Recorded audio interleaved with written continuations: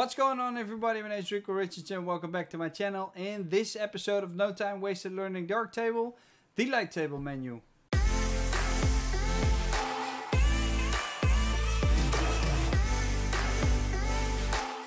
This is the light table menu and this is where you'll start your journey when trying out Darktable. Even though this seems to be the most boring menu of the program, it actually has a couple of great features.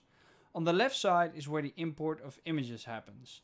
And on the right side are specific things that you can do to an image like adding styles, tagging them and exporting your image after you're done editing them in the darkroom. The first trick I'd like to show you guys is making the thumbnails bigger or smaller. You can do so by holding down Ctrl or Command on Mac and scrolling the mouse wheel button away or towards you. The second trick is to change the sizes using Alt and the numbers. So Alt 1 shows the maximum size, Alt 4 shows the minimum size, Alt 2 lets you increase the size, and Alt 3 lets you decrease the size.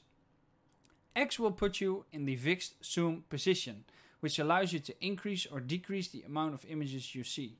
Now if you hit Ctrl X, that's dynamic zoom. That way you can't adjust the lint, but you can use your mouse wheel button to select the next set of images. If you hit Ctrl and zoom in, you will zoom in on all three images. But if you hit Ctrl Shift and zoom, you can zoom in on one image. And when you hit Shift and click inside an image, you can drag it to whichever point you like. Another thing you can do in the light table menu is focus peaking. If you hit Ctrl Shift F, that's focus peaking. That will show you three colors. The first one is yellow, which stands for very sharp. The second one is green, which is a little bit less sharper. And the third one is blue, which is only a little bit sharp. If you want more information on an image, you can use the image information panel, which shows you to which film roll or set it belongs. It shows you the image ID, file name, etc. And it also tells you the camera model, the lens you're using, and settings like aperture, ISO, and shutter speed. The images can be rated as well from 1 to 5 stars or you can give them a color. Darktable gives them the standard rating that you've defined in the GUI options panel, which can be accessed by this gear icon and then choosing initial import rating. You can change that to 1 to 5. The fastest way to reject an image is to select it and then hit R on your keyboard. If you want to rate the image, you can press the stars in the lower left corner or just simply hit 0 to 5 on your numpad. Colors can be added by hovering over the image and hitting the F1 to F5 keys.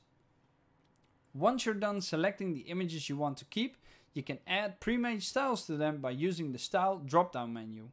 If you don't want to add a style, you can move on to the metadata editor and fill in things like title, description, etc. You can tag the images or geotag them, but if you don't want to do all of that, it's time to edit the image using the darkroom. Once you're done, you need to drop down the export selected menu and it will give you some options. One is where you want to store your file and you can change the name by changing the final part of the string.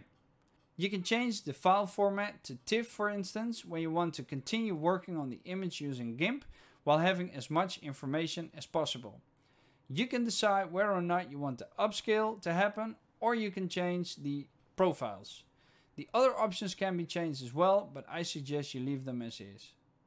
And that's it. I hope you guys like it. If you want to see more, click that playlist over there. And if you haven't subscribed already, please click that button over there. For this week, there's only one more thing left for me to say, which is make love to the like button.